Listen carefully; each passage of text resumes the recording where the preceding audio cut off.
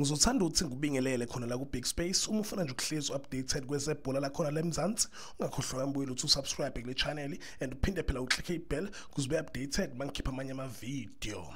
So kule video ethu namhlanje ngizokhuluma ngeindaba ezithinta amakhosi Kaizer Chiefs. Njengoba sazi ukuthi iwindi livuliwe for ukutransfer kwabadlali, sekuveleke indaba ukuthi Kaizer Chiefs ikhombisa ukuba interested kumdlali weMaritzburg United uRowan Humans. Babeke sebe report ukuthi Kaizer Chiefs njengamanje ke sabhizi saseyingxoxweni saxoxa naye iMaritzburg United ukuze bekhone phela ukuthola le attacking midfielder yayo iMaritzburg United and baphinde baveza ukuthi iMaritzburg ithe ifuna u6 million ukuze ikhone phela ukuthi imdedele lo mdlali nekhosi likhone ukumthola. And kuphinde futhi kwavela ezinye indaba ukuthi ke yona iMaritzburg United ya offerisha futhi iSuperSport United yena ku Rowan Human. But wavela ukuthi iMaritzburg United yafuna ke u3 million kuyo iSuperSport ukuze bekhona ukudedela yena uRowan Human. Njengamanje iKaizer Chiefs nayo iSuperSport United balwela ukuthi bemthole lo mdlali attacking midfielder yayo iMaritzburg but iye kubuye ngathi ke iSuperSport United iyona engehla imthole eqala kunalo ikhosi cause nakhona sikusho lokho ngenxani yemali. iKaizer Chiefs iye bathe bafuna imali engaphezulu kwa 6 million